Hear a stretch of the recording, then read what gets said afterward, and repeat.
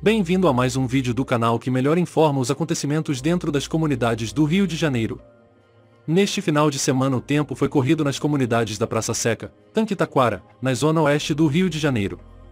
Após mais um baque do Comando Vermelho no Morro do Fubá em Cascadura, e ao mesmo tempo, a facção atacou Batial Mouche, caixa de água do tanque Pendura Saia, com as duas comunidades em risco no tanque, os grupos milicianos começaram a se movimentar entre as comunidades do Jordão e Covanca, para reforçar a ofensiva que tem no Batial Mouche para expulsar de vez o CV na caixa d'água.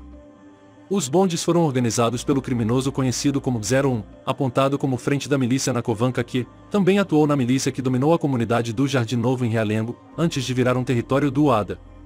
Diferente de outras facções e grupos criminosos do Rio de Janeiro, a facção do CV costuma organizar invasões simultâneas em diversos pontos do Rio de Janeiro.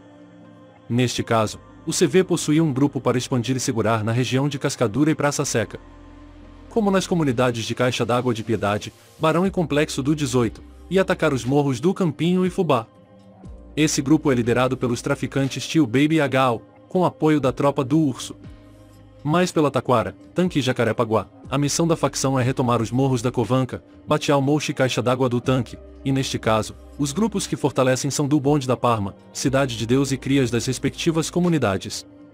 No meio dessa missão de retomada a facção mobiliza as missões de expansões na Zona Oeste, bem como se manter na Santa Maria na Taquara, expandindo para Teixeiras e Boiúna, até seguir para o Morro do Jordão, que neste caso, além de ser uma meta do CV, também entrou na pauta da facção ADA do Jardim Novo e Vintém ficando no meio desse fogo cruzado de planejamento apenas o Morro da Chacinha, que em tese, seria o coração da milícia na Praça Seca. Os líderes do CV entendem que, expulsando o forte poder bélico que existe na Chacrinha, seria praticamente enfraquecer muitos paramilitares na região da Praça Seca. Vamos aguardar os próximos andamentos dos confrontos entre milícia e CV na Zona Oeste.